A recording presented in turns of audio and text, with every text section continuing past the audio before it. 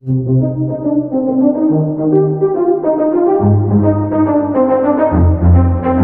you.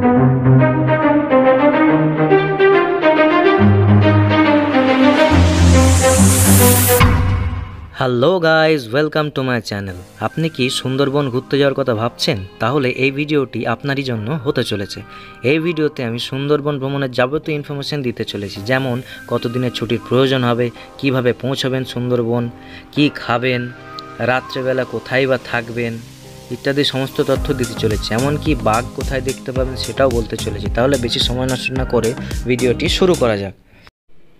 সুন্দরবনে বোটে ওঠার জন্য সর্বপ্রথম আপনাকে পৌঁছাতে হবে সোনাখালী ফেরিঘাট। সো কীভাবে পৌঁছাবেন সোনাখালী ফেরিঘাট? সর্বপ্রথম মাধ্যমটি হলো ট্রেন। শিয়ালদা স্টেশন থেকে দশ টাকার বিনিময়ে সাতটা বিয়াল্লিশের ক্যানিং লোকাল ধরে এক ঘণ্টার ব্যবধানে পৌঁছে যান ক্যানিং স্টেশন। ক্যানিং বাজার থেকে টোটো ধরুন যার প্রাইস পড়বে তিরিশ টাকা পার হেড বাসে করে সুন্দরবন পৌঁছানোর জন্য সর্বপ্রথম চলে যান ধর্মতলা। সেখান থেকে ক্যানিংয়ের বাস ধরুন। টিকিট প্রাইস পড়বে পঞ্চাশ থেকে একশো টাকা। এক ঘণ্টা চল্লিশ মিনিটের ব্যবধানে পৌঁছে যান ক্যানিং বাজার এবং সেখান থেকে টোটো ধরে চল্লিশ মিনিটে সোনাখালী ফেরিঘাট। দ্বিতীয় মাধ্যমটি হলো বাইক বা গাড়ি। যেসব বাইক বা গাড়ি থাকলে বন্ধুদের সাথে আড্ডা মারতে মারতে দু ঘন্টায় পৌঁছে যান সোনাখালী ফেরিঘাট।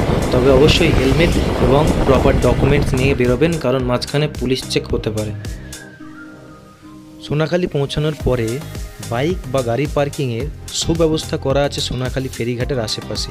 তার চার্জ পড়বে পঞ্চাশ থেকে একশো টাকা গাড়ি বা বাইক রাখার আগে কথা বলে নেবেন।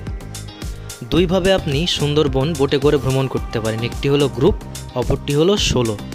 গ্রুপে যদি আপনারা পনেরো থেকে কুড়ি জন হন, তাহলে প্রেফার করব একটি পার্সোনাল বোট বুক করে নেওয়া এবং অপরটি হলো সোলো বা প্যাকেজের দ্বারা অনলাইনেও আপনি প্যাকেজ বুক করতে পারেন অথবা সুন্দরবন ট্যুরিজম অফিস, সেখান থেকেও আপনি বুক করতে পারেন।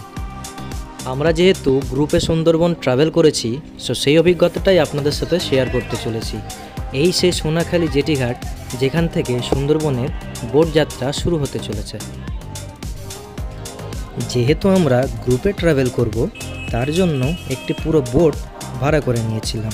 বোটটির ভাড়া পড়েছিল চোদ্দ হাজার টাকা। বোটটি অফ সিজনে চোদ্দ থেকে পনেরো হাজার টাকার মধ্যে ভাড়া পেয়ে যাবেন এবং সিজনে কুড়ি থেকে বাইশ হাজার টাকার মধ্যে পেয়ে যাবেন।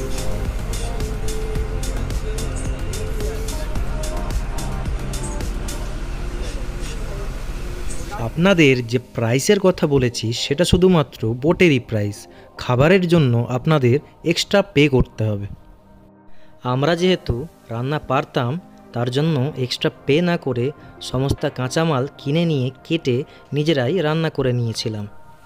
বোটের লোকেরা রান্নার গ্যাস রেঞ্জ এবং রান্না করার কিছু সরঞ্জাম দিয়েছিল, তার জন্য এক্সট্রা কিছু টাকাও নিয়েছিল তারা। এখানে কিছু ইনফরমেশান দিয়ে রাখি, যেহেতু আমরা সুন্দরবন ওয়াইল্ড লাইফ সেঞ্চুরিতে ঘুরব, তার জন্য কিছু পারমিটের প্রয়োজন হয়। তার জন্য বোট বুকিংয়ের সময় বোট মালিককে প্রত্যেক সদস্যের আধার কার্ডের পিকচার পাঠিয়ে দেবেন। তাহলে আগে থেকে পারমিটটা হয়ে থাকবে, সময় নষ্ট কম হবে। এছাড়াও একটি লোকাল ট্যুর গাইডের প্রয়োজন হবে, যার ভাড়া আটশো টাকা পার ডে পড়বে। বিভিন্ন ওয়াচ টাওয়ারে এমন কিছু মিষ্টি জলাধার দেখতে পাবেন, যেখানে কপাল ভালো থাকলে আপনি বাঘও দেখতে পারেন। এই গ্রুপ ট্যুর সম্বন্ধে কোনো কোয়েশ্চেন থাকলে কমেন্ট বক্সে জানাতে পারেন।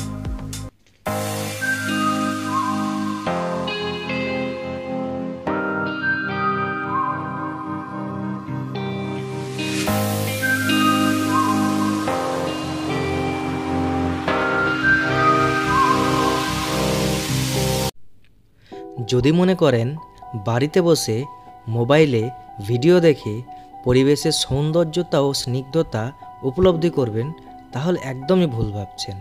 তাই বলি, মাঝে মাঝে কাজের ফাঁকে বেরিয়ে পড়ুন নিজেকে পরিবেশের সাথে ভাসিয়ে দিতে। এই সূত্রে বলে রাখি, কেউ একজন বলে গেছেন, জীবনে অর্থের প্রয়োজন হলেও অর্থই সব হয় না। তাই আসল অর্থ খুঁজতে মাঝে মাঝে বেরিয়ে পড়তে হয় ঘুরতে। এবারে বলে রাখি, আপনারা সুন্দরবন ষোলো অর্থাৎ প্যাকেজের দ্বারা কীভাবে ঘুরবেন? সকাল দশটায় সোনাখালি থেকে হোগল নদী হয়ে বাসন্তী ব্রিজের নিচ হয়ে আপনার জার্নি শুরু হবে। এর মধ্যেই আপনাকে ব্রেকফাস্ট দিয়ে দেওয়া হবে। ব্রেকফাস্ট খেয়ে পৌঁছবে গোসাবা আইল্যান্ড।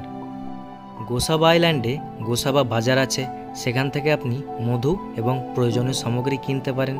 এছাড়াও হ্যামিল্টন হাউস ও বেকেন হাউস ঘুরে দেখতে পারেন। লাঞ্চ করে কিছুক্ষণ ঘোরার পরে পৌঁছবেন সন্ধেবেলা আপনার রিসর্টে যেখানে আপনারা রাত্রে থাকবেন। সন্ধেবেলা ইভিনিং স্ন্যাক্সের সাথে লোকাল ডান্স প্রোগ্রামেরও একটি ব্যবস্থা থাকে। এছাড়াও শীতকালে এখানে ক্যাম্প ফায়ারেরও ব্যবস্থা থাকে।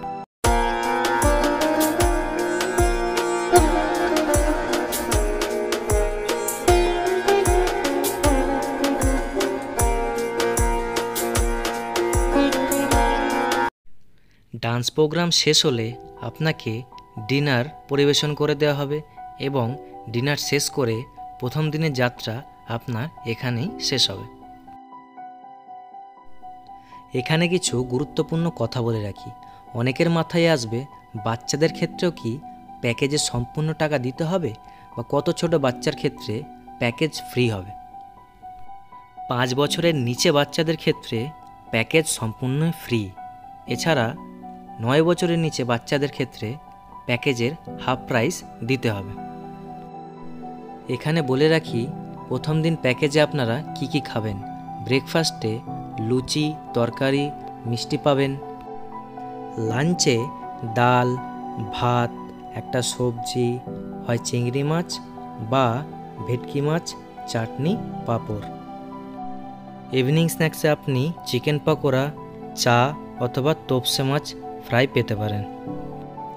রাত্রিবেলা সম্ভবত চিকেন হয়, এছাড়া আপনি ভাত বা রুটি খেতে পারেন। সুন্দরবন ট্যুর প্যাকেজ দুভাবে হয়। একটি হলো কলকাতা টু কলকাতা, অপরটি হলো ক্যানিং টু ক্যানিং।